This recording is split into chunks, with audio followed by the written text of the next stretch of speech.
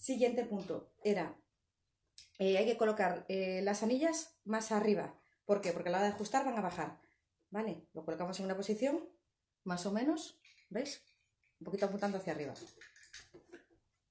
Luego igualmente cada una eh, irá viendo dónde le queda mejor la anilla para luego ajustar le quede en la posición.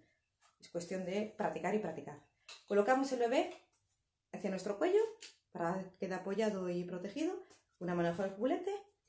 Buscamos, ponemos la mano entre nosotros y la tela y buscamos sus pies con un movimiento.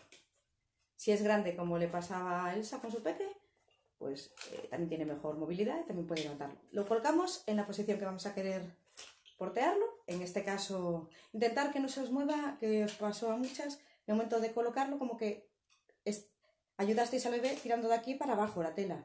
Y por eso se os, se os descolgan las anillas. ¿Vale? Dejar sentar al bebé. Lo dejamos sentar y ya pone esa posición que queremos.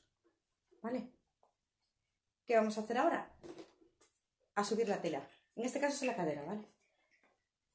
Buscamos el canto, se puede buscar por delante o por detrás, y que le pasaba a algunas que la tela se le subía toda de un bloque. Entonces lo que hacemos es, para que no pase esa, como que hacemos un pequeño agarre aquí debajo, de paso sostenemos al niño, manitos dentro, en el caso de bebés pequeños, y lo vamos a subir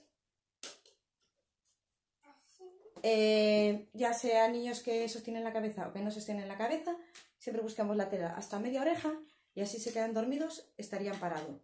Caso de bebés pequeñitos, lo que comenté allí, acordaros de la coronilla para, para hacer el, el cojín. Vamos a hacerlo como si se fuera a sostener solo con esta tela, ¿vale? Ahora, ¿qué hacemos? Vamos a hacer saquito. ¿Veis que gracias a, mantener el culete mientras subía la tela no descoloque la posición? Que eso pasa, ¿no? Que empiezas a tirar y de repente el niño, las piernas, ¡plaf! Hacia abajo, pues no. Eh, voy a aprovechar para ya quitártela de aquí. Busco el canto de detrás, cojo toda la tela que me sobra, la paso por detrás de la rodilla y la meto. ¿Y ahora cómo haría? Bebés más pequeños, meto hacia adentro. Y de paso, ¿veis? Buscando esa basculación que gire el primer hacia nuestro cuerpo. Y la otra forma que hemos hablado antes, meto mi mano por aquí, busco la telita que tenía por debajo y sin problema tiro y de paso, ah, ahí basculo. O incluso si es un niño como ocurrió en la sesión grande, metemos la mano y tras para arriba. Y aprovechamos y basculamos. Y aparte que en los niños grandes la basculación se consigue fácil. Pues eso sería todos los trucos para conseguir la basculación. Ya voy, pequeño.